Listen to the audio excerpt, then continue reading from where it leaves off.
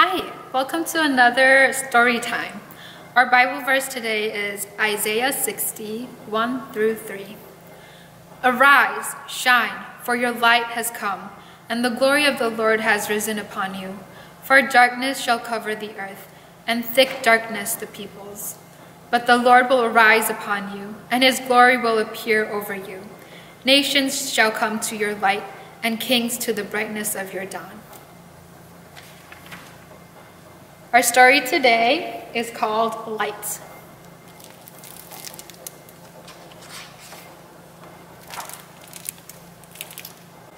In the beginning, there was an emptiness, like a blank canvas.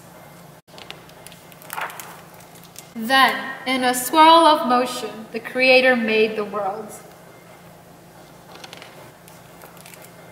The sun, the moon, and the stars were born. Still, waters became rivers and oceans. Lands became deep valleys and high mountains, blossoming with lush plants, trees, and fruit. Animals of all shapes, sizes, and colors appeared in the water, on the land, and in the clear blue sky. As a finishing touch, the Creator wanted to paint everything with a special kind of light, so the world would shine with goodness. The light was so powerful, it had to be stored away in a huge jar. But when the Creator started to open the jar, it shook violently, tipped over, cracked, and shattered. Sparks of light flew out. The Creator couldn't find the missing pieces alone. Who could help? Birds, frogs, beasts? Then the Creator had an idea. People were made to find the shards of light and bring them together again. Only then would the world be complete and perfect. People searched far and wide. They spied pieces, sparkling on blades of grass, shimmering on sea kale, and glistening on insect wings. They saw the light in animals' loving eyes. They discovered it in each other and sometimes in themselves. Whenever people found the light, they felt contentment, joy, and peace. When they shared it with one another, there was no more hate, hunger, fear, or war. Many shards are still to be discovered.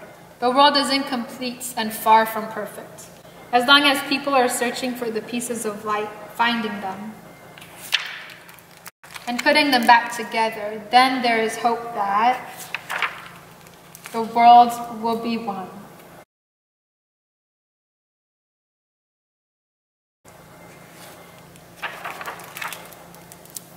The end. I want you to think about when you feel joy, when you feel happy and peaceful with yourself or with your friends and family. What kind of what kind of things make you feel that way? Um, those things are the light that's inside you and that's inside everyone and everything. Let's pray. Will you all bow your heads and close your eyes? Dear Lord, thank you for bringing us all together. Thank you for being with us in this dark time when there's hatred and anger in the world and in our nation.